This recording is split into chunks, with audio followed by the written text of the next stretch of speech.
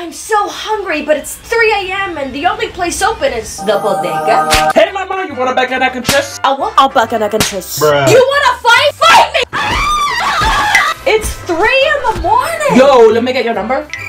Wow. So you don't want a pack and neck and chest? You ain't shit. Let me just get an order of fries and maybe just like uh, three pints of ice cream that I may or may not eat all to myself. Are- Are you in line?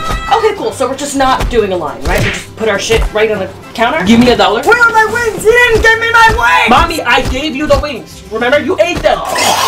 Bullshit! I want to talk to the owner! No! You call? Try me, bitch. Bitch, what?